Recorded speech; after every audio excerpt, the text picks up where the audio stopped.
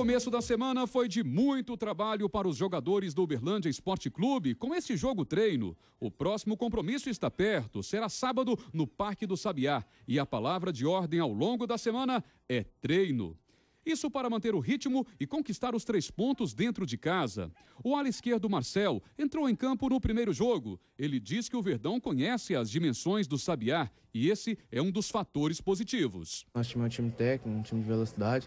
Então, jogando no Parque Sabiá, que é um campo das dimensões grandes, é diferente do que foi quanto o Araxá. Tenho certeza que o nosso time vai muito bem e vai conseguir os três pontos. Né? É, já visto que nos amistosos a gente não, não perdeu nenhum jogo em casa.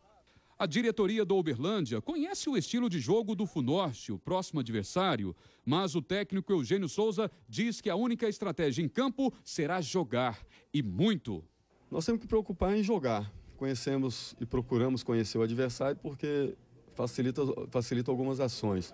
Mas a estratégia é trabalho, você a gente passar algumas informações para os atletas de buscar o gol o tempo todo, mas de como buscar é, de ter paciência, porque sabemos que se o resultado não sair como se espera, principalmente no início do jogo, pode acontecer pressão, por isso nós contamos aí com o apoio da torcida o tempo todo, porque nós precisamos aí de, de todos de todos juntos né, nesse jogo para buscar essa vitória que é de suma importância para a nossa arrancada na competição.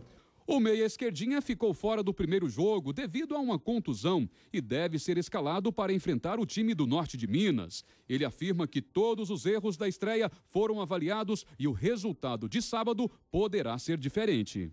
Já observamos os erros, o professor já passou para a gente aí que foi feito, que não, que não foi bem feito. E agora é treinar durante a semana e tentar fazer contra o, o Funorte e o, as coisas que o professor pede para a gente, porque com certeza a gente vai fazer um bom jogo e vamos fazer, sair com um resultado positivo.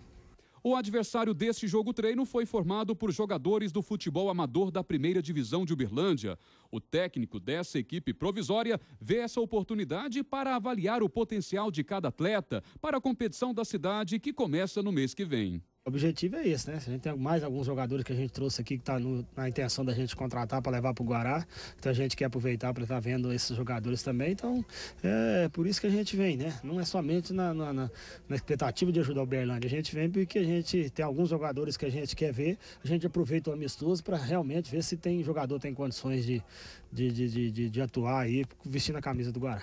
Oportunidade de teste para Diego, que defendeu o Clube Atlético Portal no ano passado. Disputamos a terceira do Mineiro, fizemos uma boa participação.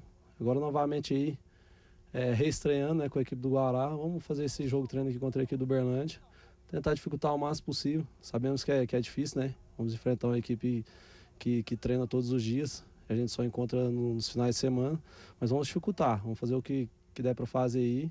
Se no final a gente conseguir sair com com a vitória aí, bom, senão vamos tentar dificultar ao máximo. O novo reforço para o Uberlândia Esporte é o atacante André Neres, que já está no clube, mas só será apresentado oficialmente amanhã, pois ainda resta a regularização dos documentos do jogador. Depois disso, ele pode inclusive ser escalado para o próximo jogo, contra o time do norte de Minas.